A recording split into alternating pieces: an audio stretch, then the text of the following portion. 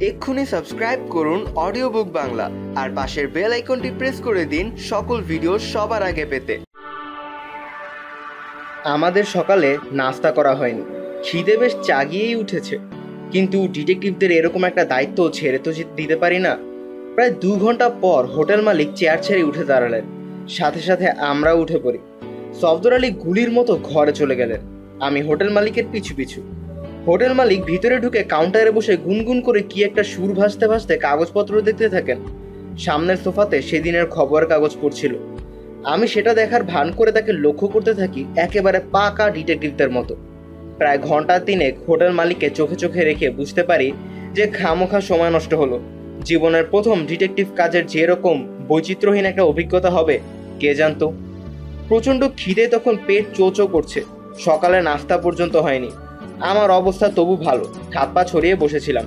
সফদর আলী বেচারা সেই যে ঘরে ঢুকে তার যন্ত্রপাতি খুলে কানে হেডফোন লাগিয়ে বসেছেন একবার ওঠেননি পর্যন্ত। আমরা দুজনে ডিটেকটিভের কাজে ইস্তফা দিয়ে বের হলাম। প্রথমে কিছু একটা খেতে হবে। তারপর মতিনকে খুঁজে বের করে রিপোর্ট দেয়া। মনে মনে আশা করছিলাম হোটেল মালিককে বোকা বানিয়ে পুরো হেরোইন কারবারের দলটাকে হাতে নাতে ধরে ফেলব।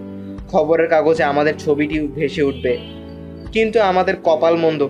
হোটেল মালিক বেচারা নেহাতই নিরীহ গো বেচারা একজন মানুষ। মতিনকে তার বাসায় পাওয়া গেল না। ভোরবেলা নাকি বেরিয়ে গেছে। আমরা খানিকক্ষণ এদিক সেদিক ঘোরাঘুরি করে বেড়াই। সফদর আলীর সাথে ঠিক কথাবার্তা বলা যাচ্ছে না। তিনি খুব অন্যমনস্ক, কি যেন খুব মন দিয়ে ভাবছেন। হুঁ হাঁ করে উত্তর দেন। মাঝে মাঝে এমন একটি দুটি কথা বলেন, যার কোনো মাথা মুন্ডু বোঝা যায় না। আমি একবার জিজ্ঞেস করলাম, কটা নাকি ক্যাং আছে খুব সুন্দর? যাবেন সেখানে? হুম। খুব চমৎকার নাকি একটা বৌদ্ধমন্ত্রী আছে? যাবেন সেই বৌদ্ধ মূর্তিতে দেখতে? হুম। চলুন যাই, এদিক দিয়ে মাইলখানেক গেলেই নাকি পৌঁছে যাব। হ্যাঁ। সময় আছে তো কয়টা বাজে এখন? হ্যাঁ। শব্দ সাহেব কয়টা বাজে এখন? হ্যাঁ? গলা উঁচিয়ে আমাকে বলতেই হলো, কয়টা বাজে এখন? আমার হাতে ঘড়ি নেই। শব্দর আলী থতমত খেয়ে বললেন ও আচ্ছা। ছোট ট্রান্সমিটার তো ওভারলোডেড হয়ে যায়। আমি হাল ছেড়ে দিলাম। রাতে যখন শোয়ার ব্যবস্থা করছি, তখন মতিন এসে হাজির। সকালবেলা খবর পেয়ে হেরোইন ল্যাবরেটরিতে হানা দিতে গিয়েছিল। কোনো লাভ হয়নি। ওরা যখন পৌঁছেছে, তখন পুরো দল হাওয়া। এবারও আগে থেকে খবর পেয়ে গেছে। আমরা আমাদের ডিটেকটিভ কাজের খবর দিলাম মতিনকে। পুলিশের জিপকে দেখতে, যেতে দেখে কীভাবে সারাদিন হোটেল মালিক চোখে চোখে রেখেছি খুলে বললাম। শুনে মুত- মতিন খুশি হলো কিনা বোঝা গেল না। পুলিশের চাকরি করলে এই অসুবিধে। একজন মানুষ নিরপরাধ শুনলে মন খারাপ হয়েছে তিনজন বসে খানিকক্ষণ গল্প গুজব করি। আমার তখন আবার সফদর আলীকে ভয় দেখানোর কথাটা মনে পড়ে গেল। ভূতের ভয় দেখানোর জন্য মতিনকে রাজি করানো যায় কিনা ভাবলাম। কলেজে থাকতে ভারী পাজি ছিল। এখন হোমরা চোমরা মানুষ হয়ে ভদ্র হয়ে গেছে, কিনা কে জানে। মতিন যখন উঠে পড়ে, আমি সফদর আলীকে বললাম, আপনি শুয়ে পড়ুন, আমি মতিনকে একটু এগিয়ে দিয়ে আসি। বাইরে এসে আমি মতিনকে ভূতের ভয় দেখানোর কথাটা বললাম। মাঝরাতে তাকে ভূত সেজে এসে সফদর আলীর পিলে চমকে দিতে হবে। মতিন প্রথমে এই কথাতে রাজি হয়ে গিয়েছিল, কিন্তু হঠাৎ তার আগে আগের কথা মনে পড়ে যায়। সফদর আলীর স্টান গান থেকে কি ভয়ানক ইলেকট্রিক শখ সে সাথে সাথে পিছিয়ে যায়। আমি অনেক কষ্টে তাকে রাজি করালাম। কথা দিলাম, আমি স্টান গানটা লুকিয়ে রাখব। এসব ব্যাপারে দেরি করে লাভ নেই, আজ রাতেই করার ইচ্ছে। কিন্তু মতিনকে নাকি রাতে হেড অফিসে রিপোর্ট পাঠাতে হবে। কাজেই কখন সময় পাবে সে জানে না। ঠিক করা হলো পরের রাতে সে আসবে। ঠিক একটার সময়। হাত দুটো উঁচু করা থাকবে, পুরোটা সাদা কাপড় দিয়ে ঢাকা। দেখে মনে হবে আট ফুট একটা দানব। একবার সফদর বিছানার পাশ দিয়ে হেঁটে বেরিয়ে যাবে। বাকি দায়িত্ব আমার। ঘরে ফিরে এসে দেখি সফদর আলী কুণ্ডুলি পাকিয়ে ঘুমিয়ে গেছেন।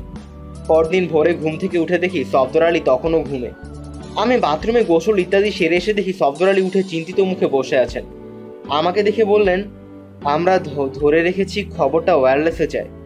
কিন্তু আসলে হয়তো এটা পাঠানো হয় লেসার দিয়ে। খুব তো সহজ। একটা ভালো আয়না, একটা ফটো ডায়োড একটা ভালো অ্যাম্প্লিফায়ার ব্যাস, তাহলেই হয়। সফদর আলী ভুরু কুচকে থেমে গেলেন। তারপর গোফ টানতে টানতে বললেন, দিনের বেলা অবশ্যই মুশকিল।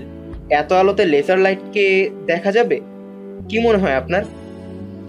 আমি আর কি বলব? সফদর আলীকে ওভাবে চিন্তিত অবস্থায় বসিয়ে রেখে বের হয়ে এলাম। হোটেলের মালিক আজকেও অলস ভঙ্গিতে একটা ইজি চেয়ারে বসে আছেন। পায়ের কাছে কয়টা কবুতর, হাতের উপর একটা। কবুতরগুলো মানুষকে ভয় পায় না। আজকে আমাকে দেখে একটা আমার হাতের উপর এসে বসে। কয়টা দানা তুলে নিতেই খুঁটে খুঁটে খেতে থাকে। হোটেলের মালিকের সাথে আরও একটা দুটো কথা হলো। অলস প্রকৃতির লোক বাইরে শুয়ে থাকা ছাড়া আর কিছুই করতে দেখি না। তখনই রুম থেকে হঠাৎ সফদর আলী বেরিয়ে এলেন। আমি আমার হাতে থাকা কবুতরটাকে গায়ে একটু হাত বুলিয়ে উড়িয়ে দিচ্ছিলাম। সফদর আলী সাহেব হঠাৎ বললেন, দাঁড়ান দাঁড়ান, একটু দাঁড়ান। কবুতরটিকে তিনি সাবধানে হাতে নেন। তখন আমার চোখে পড়ে কবুতরের একটা পায়ে কী সব জিনিস বাঁধা। সফদর সাহেব সেগুলো খুলতে খুলতে বললেন, বোকা কবুতরটা মানুষকে ভয় পায় না, যার কাছে ইচ্ছা চলে যায়। নিশ্চয়ই দুষ্ট কোনো ছেলের হাতে পড়েছিল। দেখুন, পায়ে সব কি বেঁধে দিয়েছে। দুষ্ট ছেলের কাজ পায়ে ছেঁড়া কাগজ, একটা শিশি। শিশিতে সাবানের গুঁড়ো নাকি শক্ত করে বাঁধা। আমরা সাবধানে সবকিছু খুলে কবুতরটিকে উড়িয়ে দিই। রাতে রেস্টুরেন্ট থেকে খেয়ে আমরা সকাল সকাল ফিরে আসি। আজ রাতে তো সফদর আলীকে ভূতের ভয় দেখানোর কথা। আগে থেকে একটা ভৌতিক আবহাওয়া তৈরি করতে হবে। হোটেলে ঢোকার সময় হোটেল মালিকের সাথে দেখা। দেখে মনে হলো ভদ্রলোক কিছু একটা নিয়ে যেন একটু দুশ্চিন্তিত। আমাদের দেখে একটু হাসির ভঙ্গি করলেন। আমি বললাম, আপনার কবুতরগুলো খুব পোষ মেরেছে, মানুষকে মোটেও ভয় পায় না। হোটেল মালিক যেন একটু শঙ্কিতভাবে আমাদের দিকে তাকালেন। একটু আমতা আমতা করে বললেন হ্যাঁ একটু বেশি পোষ মেনেছে। আজ বিকেলে উড়ে একেবারে আমার ঘাড়ে এসে বসেছে। ও, বিরক্ত করেনি তো আবার? না না, বিরক্ত করবে কেন? কোনো বিরক্ত করেনি। সফদর আলী বললেন, আমার মনে হয় আপনার কবুতরকে একটু ট্রেনিং দেওয়া দরকার। হোটেল মালিক ভুরু কুচকে বললেন, কিসের ট্রেনিং? এই যেন অপরিচিত মানুষের কাছে না যায়, আজ বিকেলে দেখি কে যেন দুষ্টুমি করে পায়ে কিসব বেঁধে দিয়েছে। হোটেল মালিক হঠাৎ যেন একেবারে ফ্যাকাশে হয়ে গেলেন। সফদর আলী সান্ত্বনা দিয়ে বললেন, আমরা খুলে দিয়েছি, আপনার কবুতরের কিছু হয়নি। চমৎকার উড়ে গেল তখন। আমরা ঘরে ফিরে এলাম। হোটেল মালিক পিছু পিছু এলেন। ধন্যবাদ জানাতে নিশ্চয়ই। কিছু একটা বলবেন বলবেন, করেও যেন ঠিক বলতে পারলেন না। ঘরে ঢুকে আমি ভূতের ভয় দেখানোর প্রস্তুতি শুরু করে দিই। নিরীহ স্বরে সফদর আলীকে বললাম, হোটেলটা বেশ বড়, কিন্তু মানুষজন কত কম দেখেছেন? সফদর আলী বললেন, ঠিক করে পাবলিসিটি করে না। নিয়ন লাইট দিয়ে লিখে দিত। আমি মাঝখানে বাধা দিয়ে বললাম, আপনার তাই মনে হয়? আজ বাজারে একজনের সাথে কথা বলছিলাম। সে অন্য কথা বলল। কি বলল? বলল, বছর দুই আগে নাকি কে একজন আত্মহত্যা করেছিল এই হোটেলে? সেই থেকে গভীর রাতে কে নাকি হেঁটে বেড়ায়? ভরা পূর্ণিমা হলে নাকি কান্নার আওয়াজ শোনা যায়। সফদর আলীর মুখ ফ্যাকাশে মেরে যায়। আমি হালকা গলায় বললাম, লোকজন সে কি বাজে কথা বলতে পারে? শুধু শুধু এরকম একটা চমৎকার জায়গার এরকম বাজে একটা বদনাম? আবহাওয়াটা এর মাঝে ভৌতিক হয়ে গেছে। আমি তার মাঝে আরও একটা দাগা ছেড়ে দিলাম। বললাম, ভূতের ভয় পেলেই ভয়। আমার সেরকম ভয়টয় নেই। তবে হ্যাঁ আমার এক মামা ভয় পেতেন কিছু বটে। অবশ্যই তার কারণও ছিল। সফদর আলী দুর্বল গলায় বললেন, কি কারণ? আমি অনেকদিন আগে পড়া একটা ভূতের গল্প মামার গল্প হিসেবে চালিয়ে দিলাম। ভূতের গল্প সবসময় নিজের পরিচিত মানুষের গল্প হিসেবে বলতে হয়। এছাড়া ঠিক কাজ করে না। ভেবেছিলাম দুটি গল্প লাগবে। দেখলাম এক গল্পেই কাজ হয়ে গেল। ঘরে লাগানো বাথরুম, সেখানে যাওয়ার সময় সৎফর আলী বললেন, ইকবাল সাহেব দরজার সামনে একটু দাঁড়াবেন, আমি একটু বাথরুম থেকে আসি। বিছানায় শুয়ে বাতি নেভানোর পর আমি আমার দ্বিতীয় গল্পটি ফেলে বসি। এটাও এক ইংরেজি বইয়ে পড়েছিলাম। স্থান, কাল, পাত্র একটু বদলে আমার দূর সম্পর্কের এক চাচার নিজের জীবনের ঘটনা হিসেবে চালিয়ে দিতে হলো। লাশ কাটা ঘর একটা খুন হয়ে যাওয়ার মানুষের গল্প। বিভৎস ঘটনা বলতে গিয়ে আমার নিজেরই গায়ে কাটা দিয়ে ওঠে। সফদর কথা ছেড়েই দিলাম। মদিন যখন বুঝছে যে আসবে তখন বাড়াবাড়ি কিছু না একটা হয়ে যায়, সেটা নিয়ে দুশ্চিন্তা হতে থাকে। দরজাটা খুলে রেখেছি। রাত একটার সময় আসার কথা। গল্পে গল্পে বেশ রাত হয়ে গেছে। আর বেশিক্ষণ অপেক্ষা করতে হবে বলে মনে হয় না। একটু তন্দ্রা মতো এসেছিল। হঠাৎ ঘুম ভেঙে গেল। জানালাটা কেউ বাইরে থেকে খোলার চেষ্টা করছে। মতি নিশ্চয়ই এসে গেছে। দরজা খোলা রাখব বলেছিলাম। নিশ্চয়ই ভুলে গেছে। আমি সফদর আলীকে জাগাবো ভাবছিলাম। তার আগেই সফদর আলীর ভাঙা গলা শুনতে পেলাম। ভয়ে স্বর বেরুচ্ছে না। কোনো মতে ফিসফিস করে বললেন, ইকবাল সাহেব, কি যেন ঘরে ঢুকছে। আমি বললাম, চুপ, একটাও কথা না। মতিন জানালা দিয়ে ঘরে এসে ঢোকে।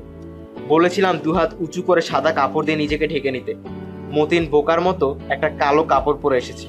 হাত দুটি তো উঁচু করেনি বরং চোরের মতো আস্তে আস্তে পা ফেলে ইতি উতি করে এদিক সেদিক তাকাতে থাকে। তাই দেখে সৎফর আলীর প্রায় হার্ট ফেল করার মতো অবস্থা। হাতরে হাতরে কোনো মতে ভূত টিপিটা বের করে টিপে দিলেন। সাথে সাথে উচ্চস্বরের আয়তুল কুর্সি পড়া শুরু হয়ে গেল। মতিন বেচারা গেল ঘাবড়ে, ভীষণ চমকে ওঠে। তারপর দরজার দিকে ছুটে যায় গুলির মতো। কোনো মতে দরজা খুলে এক দৌড়। হাসির চোটে আমার প্রায় দম বন্ধ হয়ে যাবার মতো অবস্থা। ঘরে আলো জ্বালিয়ে শব্দর আলীর সাহস ফিরে আনি। তার গলা দিয়ে শব্দ বেরোচ্ছে না। ভূত টিপিটা আঁকড়ে ধরে দুই পা তুলে বিছানায় উবু হয়ে বসে আছেন তিনি সে রাতে আর আলো নেভাতেই দিলেন না। বিছানায় নিজে জুবুথুবু হয়ে বসেই রইলেন। পরদিন সকালে ঘুম থেকে উঠেই সফদর আলী ভ্রমণবন্দিটি গোছাতে শুরু করলেন। সে নাকি তার এই হোটেলে আর থাকবেন না। তৎক্ষণাৎ আমি তাকে গতকাল রাতের সম্পূর্ণ ব্যাপারটা খুলে বললাম। আর তা শুনে প্রথমে সফদর আলী একটু চিন্তিত এবং গম্ভীর হলেও পরে হেসে একদম কুটি কুটি হয়ে গেল। আর খালি বলছিল যে মতিন সাহেবকে দেখলে মনে হয় কত বড় অফিসার। আর তিনি এতটুকু বলেই তিনি আবারও হাসতে শুরু করেন। ব্যাপারটা এত সহজে চুকে গেল দেখে আমার স্বস্তির নিঃশ্বাস পড়ে। সফদর আলী সহজ সরল মানুষ বলে এত সহজভাবে নিয়েছেন। অন্য কেউ হলে চটে যেত নিঃসন্দেহে। কয়জন মানুষ নিজেকে নিয়ে ঠাট্টা তামাশা সহ্য করতে পারে? দুজন হালকা মন নিয়ে বের হই। আজকেও হোটেল মালিক ইজি চেয়ারে বসে আছেন। কবুতরগুলো পায়ের কাছে বসে দানা খাচ্ছে। আমাদের বের হতে দেখে কেমন জানি বাঁকা করে তাকিয়ে না দেখার ভান করে সামনে মুখ ঘুরিয়ে নিলেন। ভদ্রলোকের হয়তো কথা বলার ইচ্ছে নেই। আমরাও তাকে আর ঘাটালাম না। নাস্তা করে ভাবলাম জেলে পল্লী থেকে ঘুরে আসি। জেলে নৌকা করে সফদর সমুদ্রে যাবার শখ। ব্যাপারটা আলোচনা করে আসবেন। পথে মতিনের বাসা। ভাবলাম একটু দেখা করেই যাই। তাকে দেখে গত রাতে সফদর আলী কেমন ভয় পেলেন নিশ্চয়ই জানতে চাইছে। দরজায় টোকা দেওয়ার আগেই দরজা খুলে গেল। দেখি মতিন প্রায় ছুটে বেরিয়ে আসছে। আমাদের দেখে থতমত খেয়ে বলল, তোরে এসেছিস? আমাকে এক্ষুনি যেতে হবে। গলা নামিয়ে বলল খবর এসেছে। আবার আজ নাকি অনেক বড় দল। রাতে আসব তোদের ওখানে।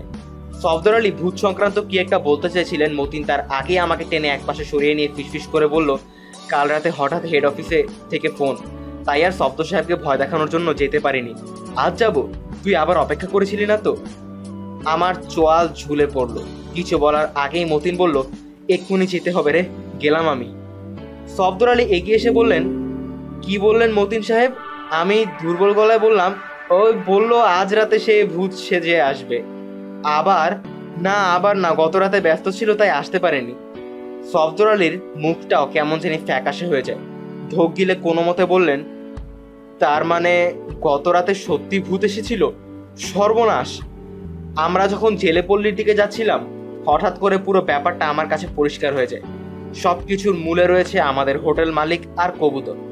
যখন হেরোইন ল্যাবরেটরিতে কাজ চলে, তিনি তার হোটেলের সামনে কবুতর নিয়ে বসে থাকেন। যখন দেখেন পুলিশ যাচ্ছে, তিনি তার কবুতর উড়িয়ে দেন। ট্রেনিং দেয় কবুতর উড়ে গিয়ে হাজির হয় হেরোইন ল্যাবরেটরিতে সেখানকার লোকজন দেখেই বুঝে যায় পুলিশ আসছে। তারা সবকিছু গুটিয়ে পালিয়ে যায় নিরাপদ জায়গায়। হেরোইন ল্যাবরেটরির লোকজন যখন হোটেলের মালিকের কাছে কোনো খবর পাঠাতে চায় তারা কাগজে লিখে কবুতরের পায়ে বেঁধে উড়িয়ে দেয়। কবুতর সেটা নিয়ে আসে হোটেল মালিকের কাছে। গতকাল আমরা কবুতরের পা থেকে যেটা খুলে ফেলেছিলাম, সেটা ছিল ওদের পাঠানো কোনো জরুরি খবর। ছোট শিশিতে নিশ্চয়ই কিছু হেরোইন ছিল। বানানো জিনিসটার একটা নমুনা। কাল সেজন্যই হোটেল মালিক আমাদের মুখে তার কবুতরের গল্প শুনে এত ঘাবড়ে গিয়েছিলেন। রাতে সেজন্যই হোটেল মালিক এসেছিলেন আমাদের ঘরে, তার সেই হেরোইনের শিশি উদ্ধার করার জন্যে। সফদর আলীর ভূত টিপি যখন উচ্চস্বরে আয়াতুল কুস্তি পড়তে শুরু করেছে, তিনি ভয় পেয়ে পালিয়ে যান। সফদর আলীকে পুরোটা বুঝাতে একটু সময় লাগল। তিনি ভাবলেন, আমি বলতে চাইছি হোটেল মালিকের কবুতরগুলো আসলে যান্ত্রিক কবুতর। ভেতর দিয়ে বোঝাই। হোটেল মালিক সুইচ টিপে দিলে কবুতরগুলো উড়িয়ে দেন। সেগুলো তখন খবর নিয়ে যায় হেরোইন ল্যাবরেটরিতে। এরকম কবুতর বানাবো কঠিন বলে তিনি আপত্তি করে যাচ্ছিলেন। কিন্তু যখন বুঝতে পারলেন, আমি বলতে চাইছি কবুতরগুলো সাধারণ দেশি কবুতর এবং এগুলো দিয়েই খবর পাঠানো হয়। শব্দর আলী হঠাৎ করে সব কিছুই বুঝে গেলেন। আমি শব্দর আলীকে জিজ্ঞেস করলাম, তাহলে এখন কি করা যায়? ভাবছি। কি ভাবছেন? কবুতরগুলোকে কীভাবে আটকানো যায় তাই ভাবছিলাম। একটু করে পাখা ছেটে দিলে হয়, কিন্তু এত কাছে বসে করি কি করে? এমন সময় শব্দর আলী বের হয়ে এলেন। হাত দেখে একটা ভঙ্গি করলেন, যার অর্থ তিনি সব কিছু ঠিক করে নিয়েছেন। আমি একটু স্বস্তির নিঃশ্বাস ফেললাম। এসব ব্যাপারে শব্দর আলীর উপর আমার অনেক বিশ্বাস আছে। শব্দর আলী এসে আমার পাশে বালুর উপর পা ছড়িয়ে বসলেন। হোটেল মালিক তার দিকে তাকিয়ে মৃদু হেসে, ভদ্রতার কি একটা কথা বললেন? উত্তরে শব্দর আলীও কিছু একটা বলে একটা কবুতরকে আদর করার ভঙ্গিতে তুলে নেন। হোটেল মালিক একটু অন্যদিকে তাকাতেই আঙুলের মাথায় লাগানো কালো মতো ছোট একটা জিনিস কবুতরটার মাথায় টিপে লাগিয়ে দেন। জিনিসটা আঠালো, মাথার পালকের নিচে ভালোভাবে লেগে যায় কবুতরটা কোনো আপত্তি করল না, দেখেও বোঝার উপায় নেই একদম। চারটা কবুতর, হোটেল মালিক কোনটা ব্যবহার করবে জানি না। তাই একটি একটি করে চারটার মাথা দিয়ে সফতর আলী সেই কালো মতো জিনিসগুলো টিপে লাগিয়ে দিলেন। সেটা কি জিনিস জানি না। কীভাবে কাজ করবে তাও জানি না। কিন্তু সফদর আলীর উপরে আমার অনেক বিশ্বাস আছে। তিনি নিশ্চয়ই কিছু একটা ভেবে বের করেছেন। কিছুক্ষণের মধ্যেই জিপের আওয়াজ শুনতে পেলাম। তাকিয়ে দেখে একটা জিপ বোঝায় পুলিশ যাচ্ছে দক্ষিণ দিকে। সামনের সিটে মতিনকেও দেখতে পেলাম। সাদা পোশাকে গম্ভীর মুখে বসে আছে। জিপটা চলে যেতেই হোটেল মালিক সাদা রঙের একটা কবুতর বাম হাতে তুলে নিলেন। তারপর অন্য মনস্ক ভঙ্গি করে ডান হাত দিয়ে কবুতরের সামনে তিনবার চুটকি বাজালেন। নিশ্চয়ই এটা কোনো রকম একটা সংকেত। সত্যি তাই? কবুতরটি তিনটি চুটকি শুনে হঠাৎ পাখা ঝাপটি উড়ে যায়। প্রথমে সোজা উপরে, তারপর ঘুরে দক্ষিণ দিকে। সাংঘাতিক উঠতে পারে পাখিটা। দেখতে দেখতে সেটা মিলিয়েও গেল। আমরা তিনজনে তাকিয়েছিলাম কবুতরটার দিকে। সফদর আলী অন্য মনস্কভাবে বললেন, খুব ভালো উঠতে পারে কবুতর। হোটেল মালিক অন্য কবুতরগুলোকে উড়িয়ে দিয়ে বললেন, কবুতরের অনেক গুণ। হ্যাঁ খেতেও খুব ভালো। আমি যোগ না করে পারলাম না। ভুনা কবুতরের মাংস গরম ঘি দিয়ে খেতে কি যে দারুণ লাগে। হোটেল মালিক এবং সফদর আলী দুজনে আমার দিকে একটু অবাক হয়ে তাকালেন। আমার কথাবার্তা প্রায় সময় খাবারের বিষয়ে এসে পড়ে। সফদর আলী একটু থেমে বললেন, কবুতরের দিজ্ঞান খুব ভালো, কখনো রাস্তা হারায় না। যুদ্ধের সময় কবুতর দিয়ে শত্রু অঞ্চল থেকে খবর পাঠানো হতো। হোটেল মালিক অস্বস্তিতে একটু নড়ে চড়ে বসলেন। সফদর আলী না দেখার ভান বলে বললেন, অনেকদিন বিজ্ঞানীরা জানতেন না কবুতর কি করে দিক ঠিক রাখে। দিন হোক, রাত হোক, কিছু অসুবিধা হয় না। হোটেল মালিক একটু কৌতূহল হয়ে জিজ্ঞেস করল, এখন জেনেছে? হ্যাঁ। কীভাবে? পৃথিবীর যে চৌম্বক ক্ষেত্র আছে সেটা দিয়ে। কম্পাস যেরকম পৃথিবীর চৌম্বক ক্ষেত্র দিয়ে উত্তর দক্ষিণ বুঝতে পারে, কবুতরও সেরকম। কীভাবে চৌম্বক ক্ষেত্রটা বুঝতে পারে সেটা এখনও পরিষ্কার নয়। কিন্তু পারে যে, সেটা সবাই জানে। তাই নাকি? হোটেল মালিকের চোখে মুখে একটা অবাক হওয়ার ছাপ এসে পড়ে। হ্যাঁ খুব সহজ একটা পরীক্ষা। কবুতরের মাথায় একটা ছোট চুম্বক বেঁধে দিয়েছিলেন। পৃথিবীর চুম্বক ক্ষেত্র থেকে অনেক শক্তিশালী। ব্যাস, দেখা গেল কবুতর আর কিছুতেই দিক ঠিক রাখতে পারে না। খুব সহজ একটা পরীক্ষা। বলতে বলতে শব্দর আলী উঠে দাঁড়ান। কখনো সুযোগ পেলে পেলে করে দেখবেন পরীক্ষাটা। ছোট একটা চুম্বক নিয়ে কবুতরের মাথায় লাগিয়ে দেবেন। আমার কাছে আছে একটা, এই যে। সফদর আলী তার আঙুলের ডগায় করে কালো মতন একটা চুম্বক ভদ্রলোকের দিকে এগিয়ে দেন। হোটেল মালিক একটু অবাক হয়ে সফদর আলীর দিকে তাকিয়ে হাত বাড়িয়ে চুম্বকটি নেন। কি যেন তার সন্দেহ হচ্ছে। মুখটা আস্তে আস্তে অন্ধকার হয়ে আসছে। আমি বললাম, সফদর সাহেব, চলুন যাই। ভীষণ খিদে পেয়েছে।